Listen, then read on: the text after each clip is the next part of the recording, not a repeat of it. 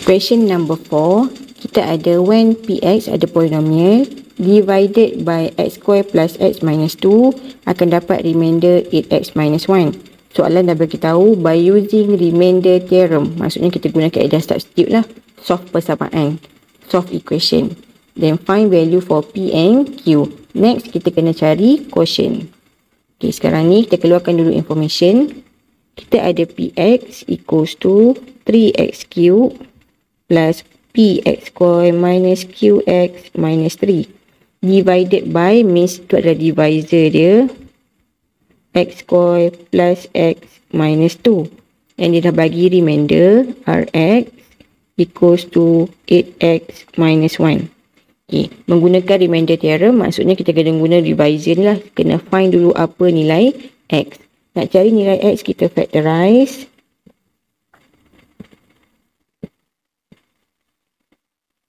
Okay, so akan dapat X ada 2. 1 dengan negatif 2.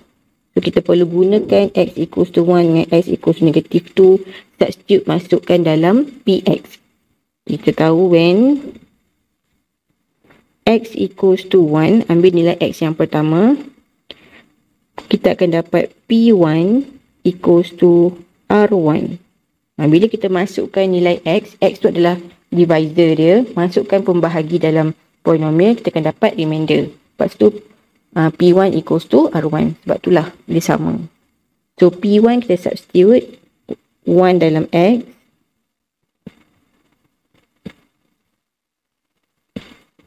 Samakan dengan remainder. Remainder dia 8X. X tu gantikan dengan 1. So kita solve kita akan dapat P minus Q equals to 7. Ini akan jadi first equation.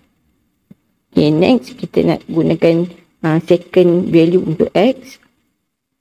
When x equals to negative 2, so kita sub dalam x, so p negative 2 akan dapat remainder negative 2. Okay, kita sub masuk. Kita samakan dengan remainder, remainder dia 8x. x tu gantikan dengan negative 2 minus 1. And then kita solve, kita akan dapat 4p plus 2q equals to 10.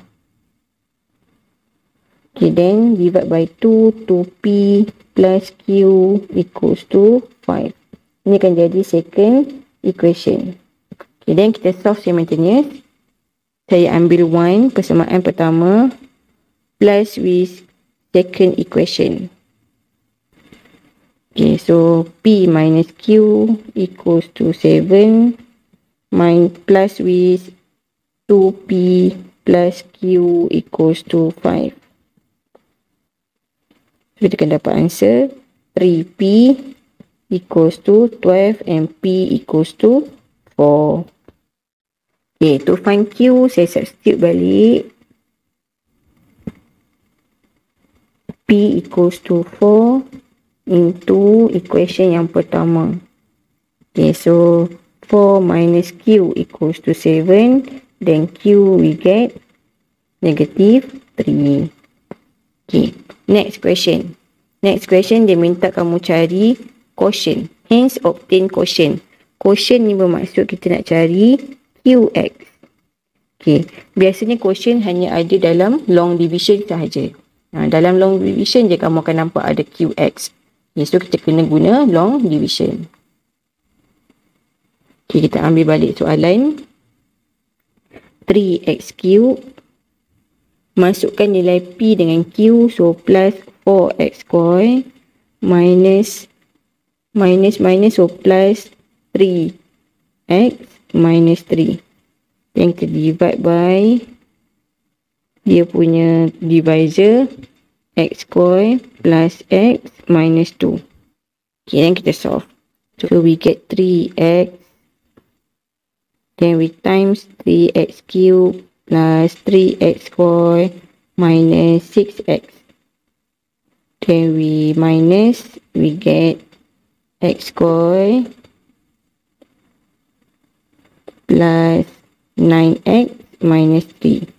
So, we plus with 1 So, x square plus x minus 2. Then we minus, we get 8x minus 1. So same with the question given Rx equals to 8x minus 1. Samalah kita punya Rx. So kita boleh conclude yang atas ni sebagai Qx, ini Dx, ini Rx. So soalan nak Qx. So kita conclude lah Qx kita quotient adalah 3x plus 1.